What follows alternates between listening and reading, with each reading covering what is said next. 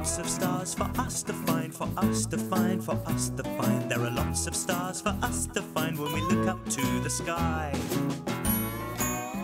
There are seven stars in the plough, in the plough, in the plough. There are seven stars in the plough, they guide us through the sky.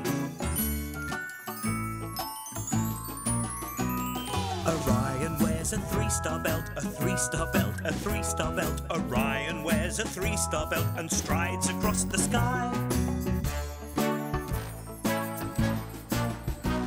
Sirius is the brightest star, the brightest star, the brightest star. Sirius is the brightest star that twinkles in the sky. Cassiopeia like a W, a W.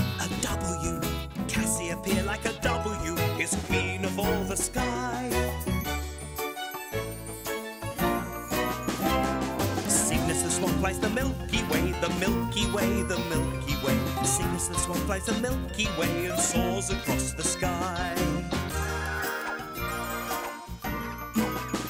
There are lots more stars for us to find, for us to find, for us to find. There are lots more stars for us to find, so look up to the sky.